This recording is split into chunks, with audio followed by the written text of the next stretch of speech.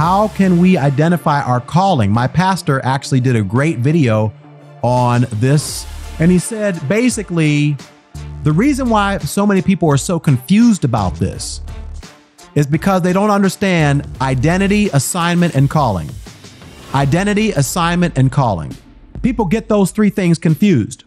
Your identity is who you are. I am a child of God. I am Allen Parr. I am a husband.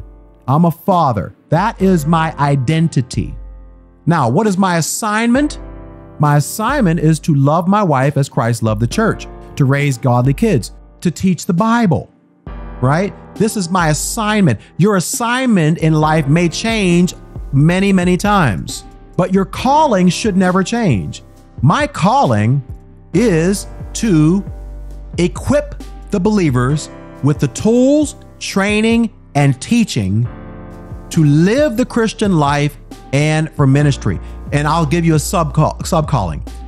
I am called to the people who have been mistaught and who have been who have never been taught the word of God.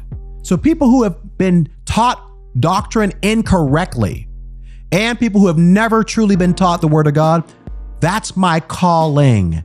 Now, how I carry that out in different seasons of my life is my assignment.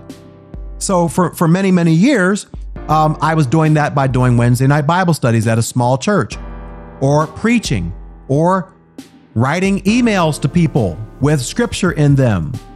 That was the different assignments that I had. But my calling has always been the same. All right. So, how do you identify your calling? Well, that's another another question right there, and that was your question. Really, you gotta try. Um, you gotta experiment. You have to try different things. First, you have to know what your gift is.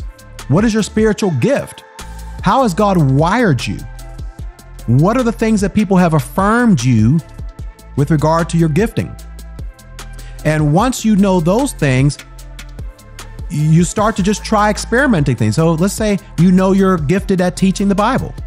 Okay, so now how can I teach the Bible? Maybe I go to the prison and do it. Maybe I do a children's ministry. Maybe I go to the nursing homes. And you just try to use your gift. And over some time, if you stay prayerful, God will eventually lead you in the path. It might take some time. For me, it took till I was 37 or 38 years old before I realized, wow, I'm, I'm I'm called to do what I'm doing now online with ministry. Right? Um, now I knew that I was called to teach the word, but um, God made it even clearer in terms of exact assignment. Right now, this is my assignment.